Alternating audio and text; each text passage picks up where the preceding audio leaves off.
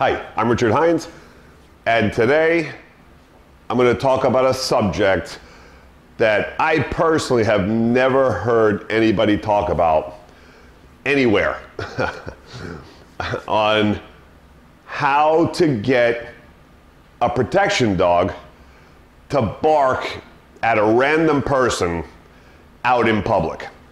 What? Come on!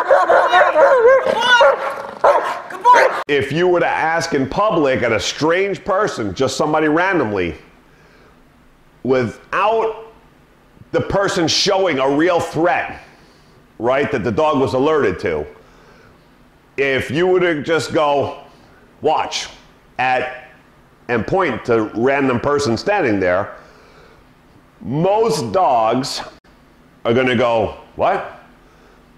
Who? You want me to alert to that person? That one? Why? right? They don't understand that game when the person is not in any equipment, right? The person's not moving suspiciously as we do in training. What? The area that the dogs are trained in is usually at home in a training facility, right? A training field somewhere that the dog knows all the time that when they get to that location, it's party time.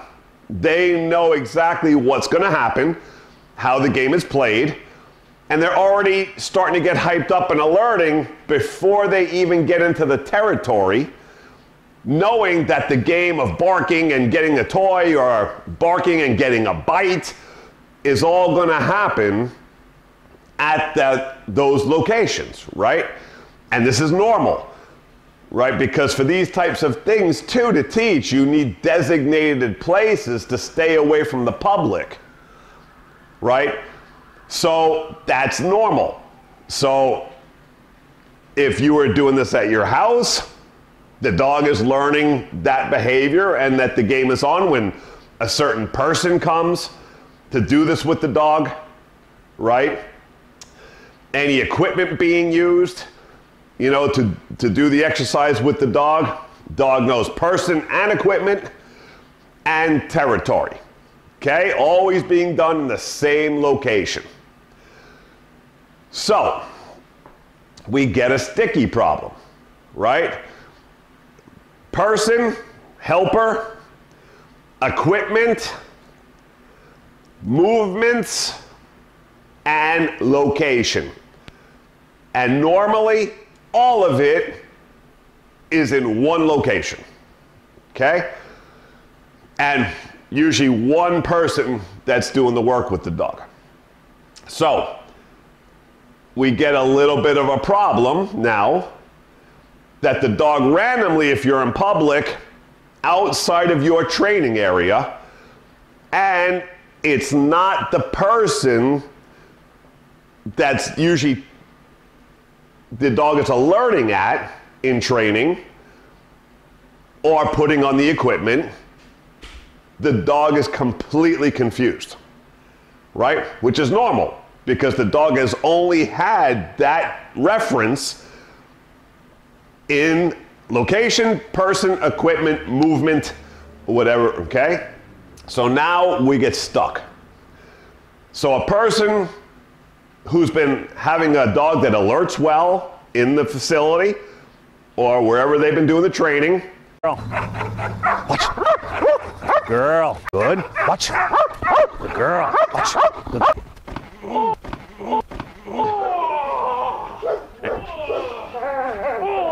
Good girl, Shrek. Good girl. Good. And the bite dog that has good bite training, right? Great when it's at the facility or it's being done at the home. Fucking.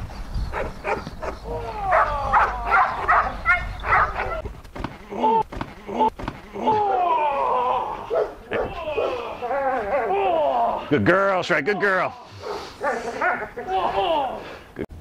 Fucking. Good girl.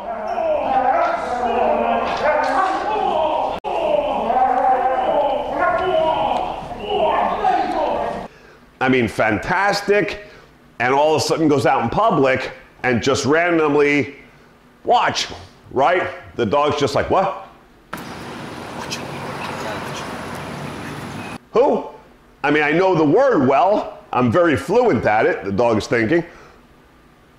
But this is weird because there's all sorts of people around and they're not moving in a weird way, and I don't know the person. They've never really, nobody else has ever egged me on, right? So we get a totally confused dog. Okay? So, how do we overcome this problem? And this is how we go about this. So, I'm just going to throw steps at you right now of development, okay? So, first thing, we are teaching, and this is the question I get all the time because people who watch my videos or have bought my instructional videos get a little confused with these things. And in this particular scenario, they get a little stuck because we haven't gotten to that on the instructional videos yet. Okay, so I'm gonna bring this out here. Here, we usually always start whether it's a bite dog or just an alert dog. We start with barking at a toy.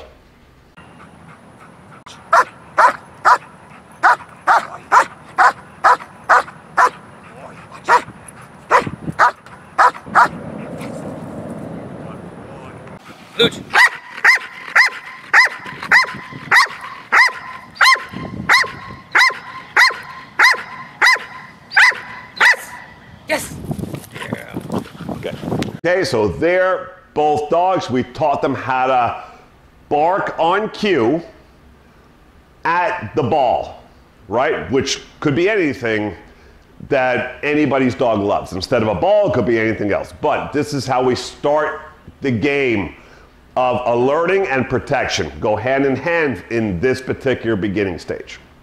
Okay? So we're teaching the dog to alert on command at an object first, not people.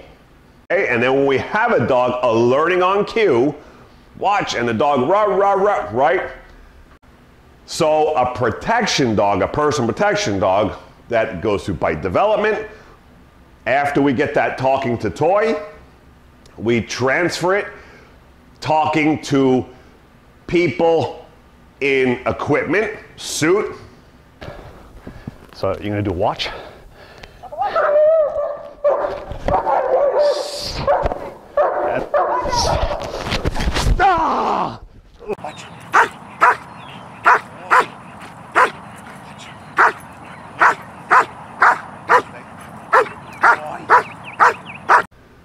Now, from there,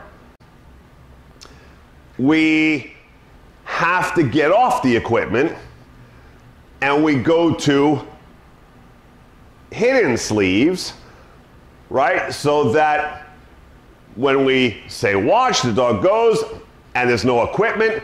Here in the scenario?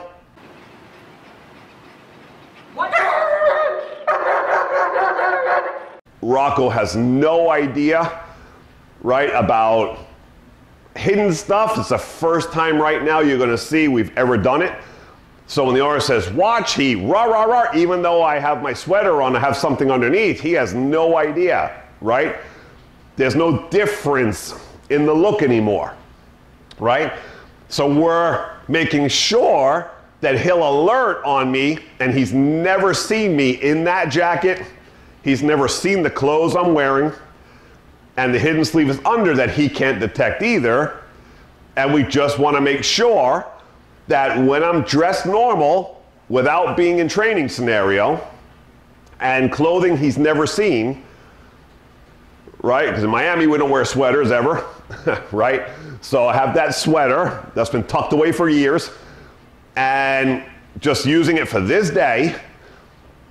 First time, now when we ask, we want to see that I'm not in a threat factor. I'm just standing there, no equipment, nothing he can identify.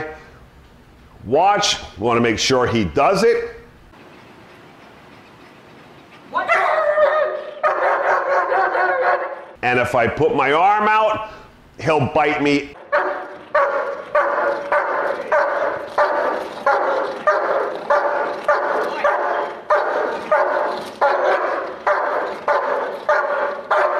Pocket! Boy! Boy!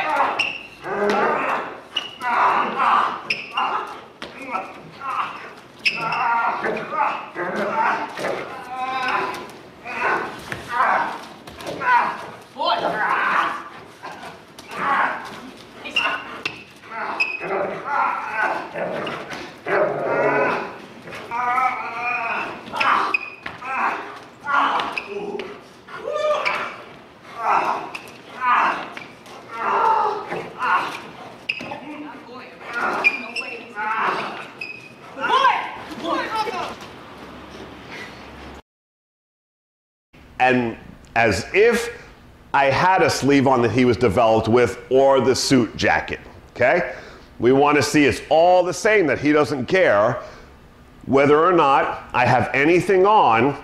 When we tell him to watch, I want to see him talk to me, even though it's a different scenario and he's never seen this plain look and no threat factor. Me just stand there and there's, there's nothing egging him into aggression.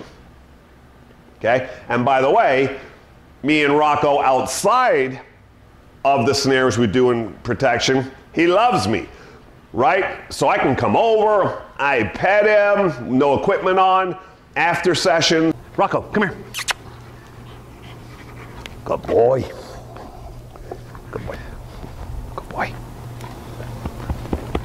Right before sessions, I can pet him and be around him, no issue. I take photo shoots with him, right up in here. He'll lick me in the face. So, me and him have a very good relationship, but when it's on, it's on, right? That's the beautiful thing about Rocco, right? He's the most social dog. And we have a great friendship, but if you turn him on, and even like here, I have no equipment on. He didn't know a training session was coming, nothing. And he barked and alerted at me like he's supposed to, and he did the bite, okay, as well. What?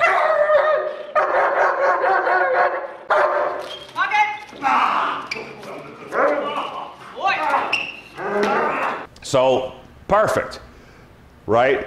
And we didn't need the bite, but in this case, because he's a bite dog, I needed to make sure he bit me without seeing the equipment and that we know that he's doing things for real and not being orientated to the equipment. Okay? And Axel here, because Axel also, we did the bark at the ball, then we did the equipment and the suit, right? We tell him watch. He watches Stacy here in the suit and bites when ready, when he was supposed to. And then here, just make sure, right? I tell him watch Stacy. First time we've ever used a hidden sleeve. Now we didn't have a jacket that day, so I told Stacy to hold it on that side and block off that he cannot see that arm right? so when I said wash, he never even saw anything on Stacy, just her regular shirt, regular clothes, no equipment, and he was barking at her normally as if she had the equipment on. Closer.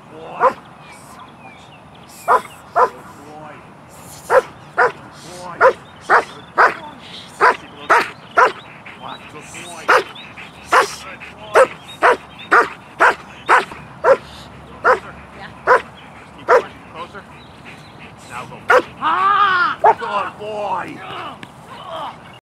Right? It's perfect. We want to see an immediate barking response, aggressive response towards without the equipment on.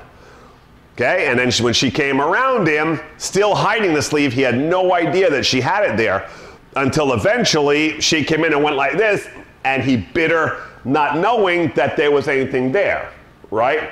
Until he went and grabbed her. So he was clueless about that equipment on her side, right? Because he never saw it, right? So he was alerting to the regular clothing and just regular, okay? So, now, how do we get the dogs then to alert out in public or in the streets? What? Okay, so like here, Rocco, you're gonna see Sue walking in the street. I have the camera, I have no equipment on.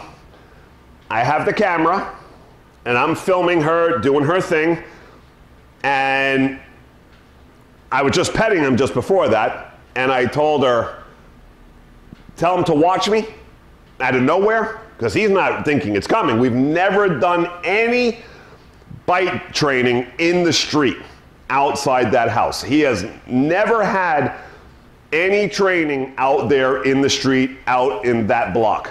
None. So he has no repetitions of that or even thinking that in the front there in the streets that we would even go into any kind of bite work or aggression. So it's a perfect scenario for me to test him while I was just petting him and got to the house, right? And then just went out to film him doing his obedience and just had Sue randomly, because knowing he's never done it there, I want to see if no matter what, any area would he cue on me when she said watch, right?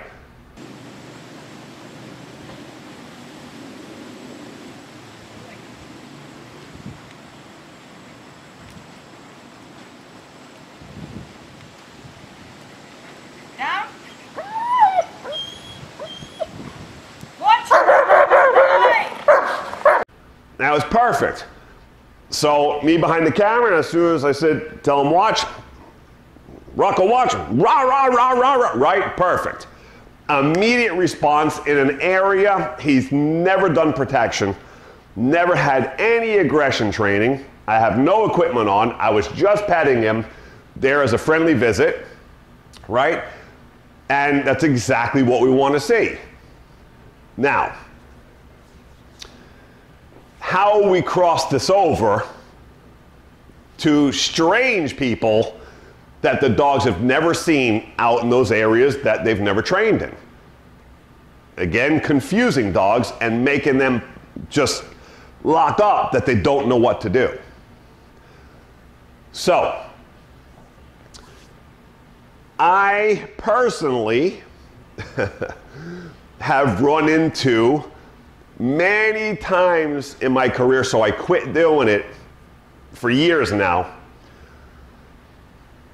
Doing surprise scenarios out in public parks, right, where there's any people, any. Because when I used to do that and go into areas to teach dogs this, anybody that's around would always call the police right? That we were doing dangerous things, doing bite work in public places, and people weren't even close to us, right? We always make sure it's safe. We, you know, for sure, always safety's first. So we're not even really near anybody when I'm pulling surprises on these dogs, right? And I just had to stop doing it in an aggressive way because I used to bring hidden suits out and jump out and give the hidden stuff in public and make sure the dog would bite and talk and alert, right? But then I couldn't do it anymore because every time we would do it out in public, somebody would call the police. And the police would come, kick us out of the park, and then always tell me, no more of that anywhere in Miami, right? It, you can't do it. That's dangerous stuff. You're teaching aggression. So I had to find another way of being able to at least get the dogs to cue on command to make threatening behavior without having aggression and bite work attached to it. You would be crazy, right? When we do that through toy stuff also, it's rah rah, right? They look like they want to kill you, right? But those dogs, even though now the things I'm going to show you are not going to be done with a decoy and in biting, bite work, right, to keep the sanity in the public, the bite dog, if you made any threats, right, and I and you really needed that dog, if they were trained well, like ours, they're gonna take action whether they've ever seen you, not seen you. If the threat is on and you do something crazy, it's gonna go from talking at something to you're gonna get hurt. so we don't worry ever about our trained personal protection dogs. Not having bite development out in the public like that, right? Because first of all, you gotta be crazy to go through that barking threat. You gotta be crazy, right? And if you decide to go through that and ignore it, those dogs, because they are trained already for it, no matter where they are, doesn't matter if they've ever done it there before, they will take action, right? So I never worry about that. So, how do we do it? Okay, without the bite and true aggression. So here, just give you an example. This is Axel, Black Shepherd, that I did the other video clips there with. I have a helper. First, how you start this. I'm gonna have Stacy come out, no equipment, no nothing. Just show the ball, right? So you're gonna see there, she just goes like this and shows Axel she has the ball.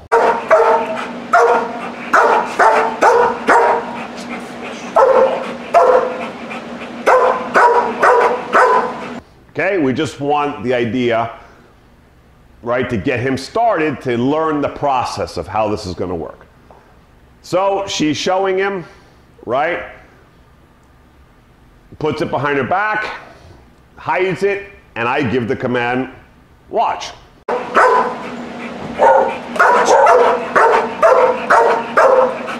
Wait. Okay? And then he rah, rah, rah, rah, because he knows that she has the ball, his favorite thing in the world. Now it's not in sight though. Okay? And this is just how you connect the game to start, right? Because if she just came out and went like this and we said, watch, he's going to be confused. Never did bite work there. We've never done that. Him and Stacy are tight. They're very good friends, right? So he's going to be very confused. So there, he barks at her, like you see, and as a reward, the person who's holding the object will throw to the dog from where they are to give the reward at the dog for talking at them.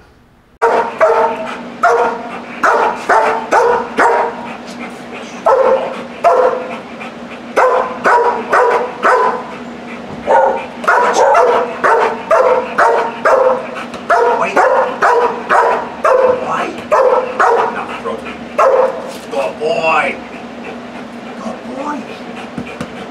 Okay? Even though it's for the ball, we're getting a cute behavior with no, no equipment just to start the process.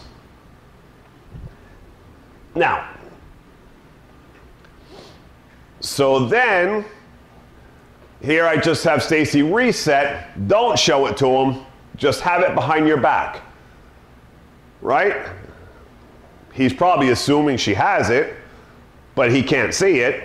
So when I say watch, he's barking at her, he's gambling, hoping by talking, right, to her, not knowing whether she's got the ball now or not.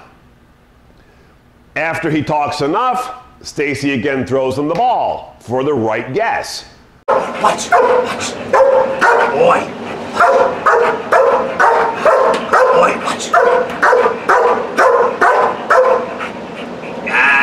Boy. boy. Okay? So, and this could be anything we're talking, right? The ball, it could be, right? I, I could have a bite pillow or a sleeve behind my back if that's what the dog really loves. And I try to stay as natural as possible, hiding it. And when the dog rah, rah, rah, rah, the only difference would be with the bite sleeve that you can't throw it at him you would have to take it and go at him and give him the bite. Okay? And the reason that we wouldn't let him come here and get the bite is how I've explained on YouTube that I don't usually allow the dogs to come off the body to take the bites like that. I want the dogs to get the bites at the position and learn to hold control, right? And things will come to that. All right? And occasionally I'll send them off and they can go bite. So we have both, but preferably you're trying to go in if you're going to do a sleeve. But I would try not to do these things, right, like a sleeve, unless it was absolutely necessary and this was the thing your dog loved the most.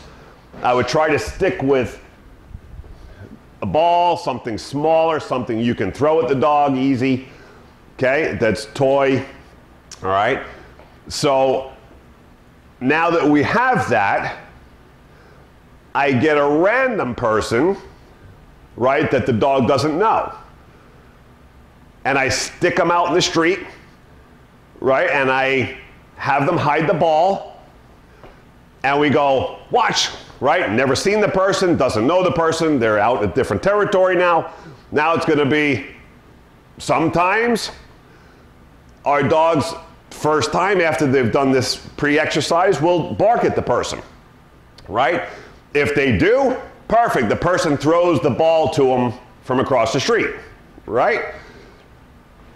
If not, if the dog doesn't talk to them, the person then will pull out the ball and go like this and then put it back. And then we wait for some good barking. Then we throw it to them. The person will throw it to them. So what are we creating? We're creating a dog now going, wait a minute. So when we're out in public, anybody you point to that I don't know is probably going to have my favorite thing there with them, behind them, even though I don't see it. Yeah, in the beginning, right? So I pull, you know, different day or same day if I have another person, I'll have them go in a different area. Ready, watch, and if dog goes, of course, we the person throws. If not again, we go like this. Dog talks, second person.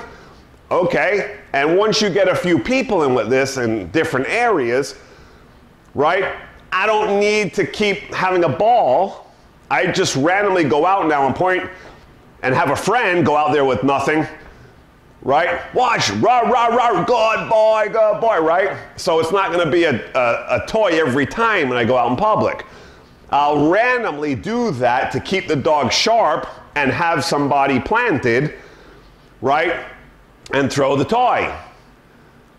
Okay? So, and it can't be the same person all the time because then they're going to be alerting on the person. I'm trying to use people the dog does not know and know well. Okay? So over time, very quickly, I'm talking like a week or two, everywhere I go and I go, watch, the dog just goes, rah, rah, rah, rah whoever I point to that. Good boy, good boy, right? And every so often, I'll have another person out there and I'll have them do it so I could keep it going, keep it fresh. And if I ever need the dog, right, I know I've built it and it will be there for me, whether it's a bite dog or a watch, just a watchdog. The behavior's built and they'll bark at anybody I tell them to bark at because they have no idea if the person's going to have a toy or not for them. The person I'm telling to bark at if I ever need them is not going to know the difference whether it's play or serious aggression, right? Because if you look at Axel here and you see him barking at you, Watch, watch. Boy. Boy, watch. Yes, good boy. Good boy. Watch. Good boy. Good boy. You would be crazy, right? I mean, you have to be crazy to not know. You don't know if that's serious or he's just play talking to you, right? So we have on cue and we have a built behavior, right? So this is the way I go about it with my protection dogs. Or any client that wants to do just talk on cue, no bite work, just threat. And that's how you build the behavior to be solid, right? That I don't need to go do bite work out in the public and have a problem with the public that I'm doing bites out there, all right? So that is how you build a public watch on command. So, Richard Heinz, till next time, Miami Dog Whisperer.